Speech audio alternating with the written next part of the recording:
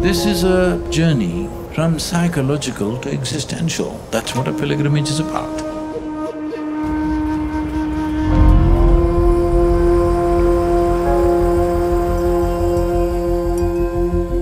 Something happened on that mountain. Spiritual process is not about strange experiences, it is about transformation. I was talking to my boss is that this is a trip I have to make. My guru has transformed my life. Even it means I quit my job, I'll quit my job. We went to another dimension. For those who are willing, I am an extremist. If you don't go to the extremes of life at the earliest, I think it's a wasted life. This man, there's just no limit to his compassion. Out of civilization now.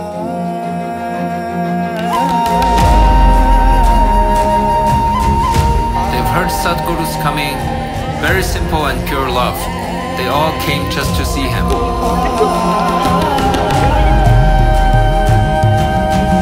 I can clearly see the course of my life changing.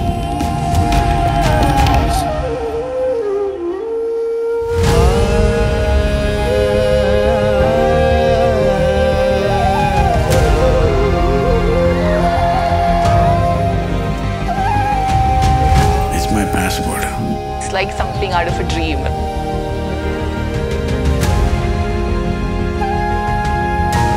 Doesn't matter how good it looks on the picture, you have to go there to experience yourself. More than one lifetime experience.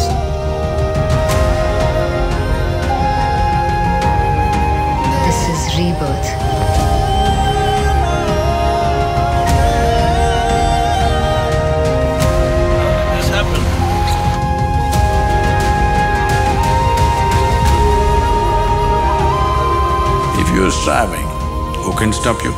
Once you turn inward, nobody can stop you because nobody's there.